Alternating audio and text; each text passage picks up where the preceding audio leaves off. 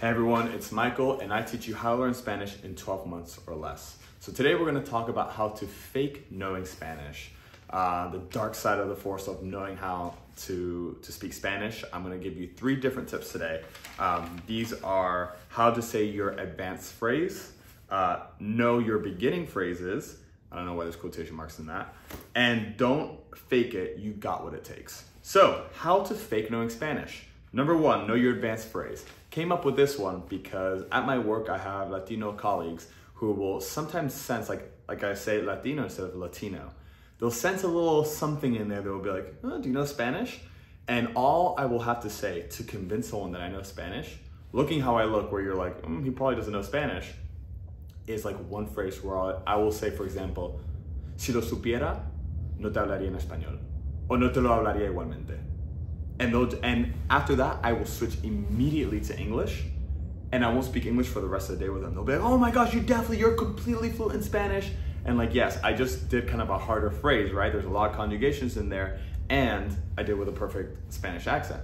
But the whole thing is that I could have said a different uh, phrase and I could have said it with an American accent and I would have still gotten that recognition because people don't memorize advanced phrases like that for that exact like moment. So just by coming up with an advanced phrase, uh, you could say something like, I don't know, uh, sí, lo estudié durante 10 años. Oh, sh-. and then you just go straight to English. It's like, whoa, whoa, whoa, whoa, what? Like it's pretty crazy. So that's one way you can do it. Uh, two is know your beginning phrases. So in Spanish, this is what I teach in my Spanish program we're always saying the same things basically. Like, ¿Cómo estás? How are you? How you been? Good. How was your day? Oh, I did this. Where you from? This, this, this, this, and that. As long as you start to know those different paths that you usually take, just like this advanced phrase where you can use it whenever you want, um, you will appear to know more. So even if you don't know the subjunctive, the conditional, as long as you can say those beginning phrases, it will show that you're at least at a medium level. That's why um, I've taught people that did college uh, Spanish or university Spanish, and they've learned all of it, but they can barely speak with me because they haven't been practicing their speaking. All they've been doing is they're studying. Yet I'll go with someone that's been in Puerto Rico or Colombia for six months, has never studied Spanish, but they're just blabbling away in Spanish because they know all those begin for those six months they were just learning those beginning phrases, hola, ¿cómo estás? Da, da, da, da, da, and they're like, well, I don't know how to use sub- subjunctive, but I know how to have everyday conversations with someone at like a, a, a basic level. So they seem so much more advanced than these other people who don't know these beginning phrases, who don't know like don't have a good base level, that like know all about the subjunctive and how to write essays. It's just such an inverse mix. Like know your basic adva- basic Spanish, and you will appear to know more than you do. And my third point is, don't fake it till you make it know it. Like seriously, that's why in the beginning of every single video I have, I say I teach you how to become fluent in Spanish in 12 months or less.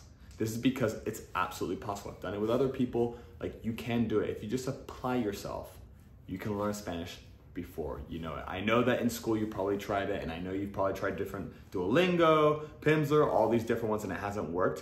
If you get a good program and you actually try, you can learn Spanish. Now, listen, it's not gonna be, in, in one year, are you gonna sound like you're from Mexico, from Argentina, from Spain? No, The most likely it's not. But is it okay to get 70% of the way there or even 50% of the, of the way there? Absolutely. I think in today's society, right now, I hate that phrase, in today's society, we're gonna scratch that out. But I think a lot of people today think in very binary terms. If I can't make a million dollars this year, I don't wanna make any. What about 700,000? Eh, I want a million. It's like, what about 500,000? Uh, I make $15 an hour right now and I want to make 30.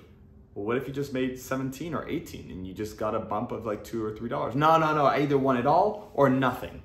And it's like, that's such a bad way to look at things because it's not either you don't know Spanish or you're fluent in Spanish. There's a lot of scale in there. You can be advanced uh, beginner, you can be medium, you could be advanced, you could be expert. Like between those different levels, you have so much room to play with. Like if someone's a medium in Spanish, like you're no longer a beginner. For most people, for the most common person doesn't know Spanish, you're basically advanced.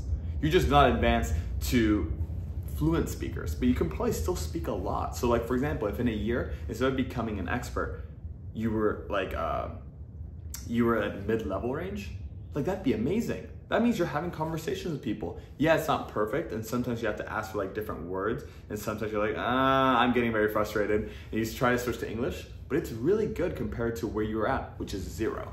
So getting 1% better every single day in something is better than remaining at zero. Those are my tips. Let me know if you have any questions on learning Spanish or any topics that I talk about on my channel. You can comment below, subscribe, and I'll see you in the next video.